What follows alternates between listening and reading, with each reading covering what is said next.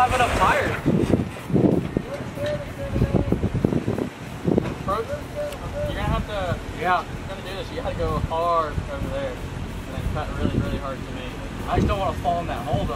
When I cut back over, roll. I got a new roll cage. We'll be alright. Oh, there's